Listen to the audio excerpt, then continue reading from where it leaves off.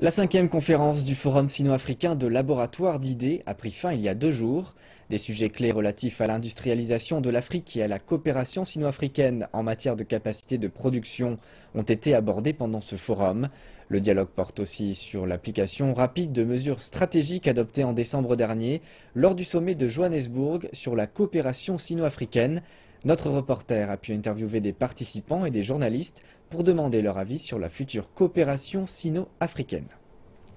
Je me trouve justement dans la salle de réunion de la cinquième conférence du Forum sino-africain des think où débute la cérémonie de la clôture. Une conférence de presse aura lieu dans une demi-heure pour conclure ce forum de trois jours. En 2011, avec le soutien des ministères chinois des Affaires étrangères, de l'Éducation du commerce et de la Banque nationale de développement, le Forum sino-africain de laboratoire d'idées s'est établi à Jinhua, dans l'Université normale du Zhejiang. Ce forum entre aujourd'hui dans le cadre du Forum de la coopération sino-africaine, le FOGAC, qui a été formé en 2000 à Beijing. Après une soixantaine d'années de coopération, les deux parties possèdent déjà de nombreuses expériences. Alors, on a beaucoup appris. D'abord, on a vu que la coopération sino-africaine a évolué.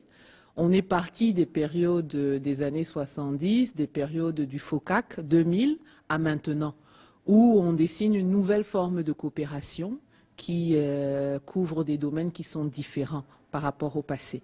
On a une diversification de la coopération sino-africaine. Elle n'est plus seulement économique, elle est diplomatique, et peut-être même militaire, avec toutes les menaces euh, qui surgissent dans le contexte sécuritaire africain.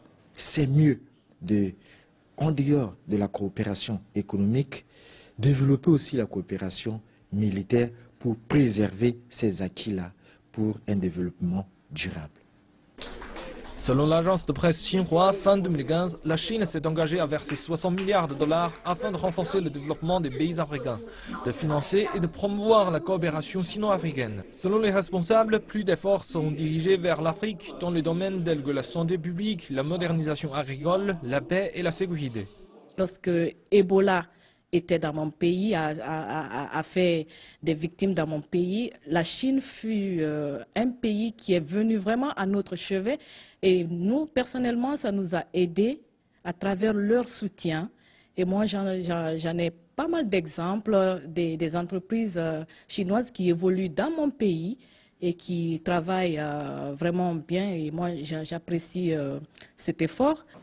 Quant à Yiwu, la ville haute de ce forum, c'est le plus grand marché de vente en gros de petits articles distribués dans le monde. La ville attire chaque année environ 500 000 acheteurs étrangers, dont 80 000 africains. Machen CCDV.